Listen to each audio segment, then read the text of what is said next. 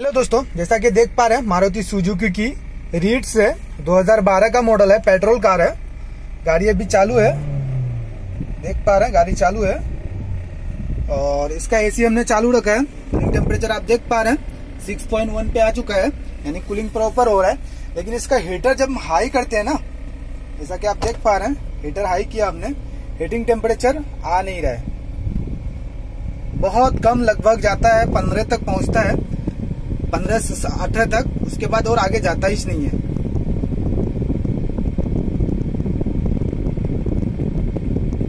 देखिए, बाईस पे आगे रुक गया है अभी। अभी और भी कम कम होगा। जैसा कि देख पा रहे हैं आप, इक्कीस पॉइंट थ्री बीस पॉइंट फोर जैसा कि आप देख पा रहे हैं, और भी हीटिंग टेम्परेचर स्टार्टिंग में ज़्यादा हुआ। लेकिन बट अब धीरे धीरे नॉर्मल होते जा रहा है। ऐसा क्यों हो रहा है? क्योंकि इसका हीटर कॉइल जो है ना, एक साइड से जाम हो गया कूलेंट प्रॉपर सर्कुलेशन कर नहीं पा रहा है। इसकी वजह से हीटिंग टेम्परेचर इसमें आ नहीं रहा है। तो हम इसको आज क्लीन करने वाले हैं। क्लीन कैसे करेंगे?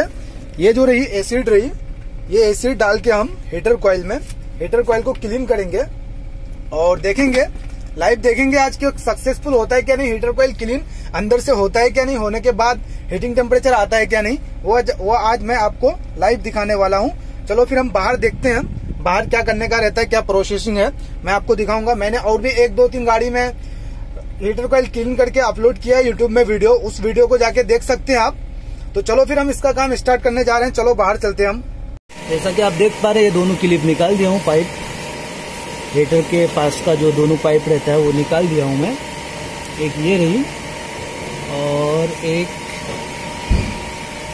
इधर आ गया अपना। ये दोनों निकाल दिया हूँ और हम एक एक्स्ट्रा पाइप लगाएँगे, ये वाली पाइप इसमें एसिड डालने के लिए।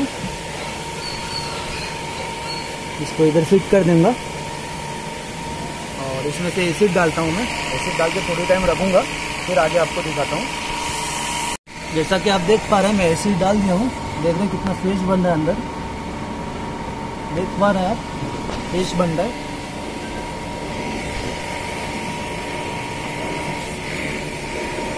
हमारे को जल्दी से पानी का प्रेशर मारना पड़ेगा। धुआँ धुआँ निकल रहा है। ये तो जल्दी जाएगा। चलो पानी मारते हैं। जैसा कि आप देख पा रहे हैं, मैंने इसको फिटिंग कर दी है सॉरी पाइप पानी का प्रेशर मार करके प्रेशर से निकाल दिया हूँ। बहुत सारा मट्टी वगैरह, कचरा वगैरह निकला। तो चलो अब हम ये दोनों पाइप फिटिंग कर देते हैं, फिर देखते हैं गाड़ी वगैरह चालू करके कि हीटिंग टेम्परेचर आता है क्या नहीं आता है। चलो फिर लग जाते हैं अपने काम के लिए। जैसा कि आप देख पा रहे हैं, मैं दोनों की लिप लगा दिया हूँ। और अब हम चलते हैं अंदर गाड़ी चालू करके, फिर बाहर आपको दिखाता हूँ। जैसा कि आप देख पा रहे हैं, अपनी गाड़ी अभी चालू है।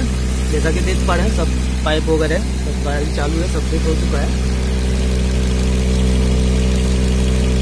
तो चलो फिर अब हम अंदर देखते हैं हीटिंग टेम्परेचर आ रहा है क्या नहीं आ रहा है। चलो। तो जैसा कि देख पा रहे हैं, अभी गाड़ी चालू है अपनी। और हीटर में हाई पे रखा हूँ रेटिंग टेम्परेचर देख पा रहे हैं। फोर्टी पॉइंट सिक्स पे आ चुका है यानी। अपना जो, अपन जो क्लीन किया हीटर कॉइल को तो सक्सेसफुल हो गया।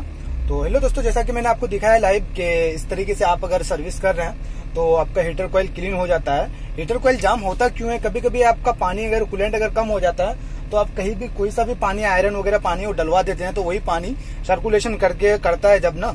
तो हीटर कॉइल में आ जाता है और वही जाम होने लगता है। इसकी वजह से बाकी आप साफ़ पानी डालेंगे तो कभी हीटर कॉइल ना रेडिएटर जाम कभी होने वाला है नहीं।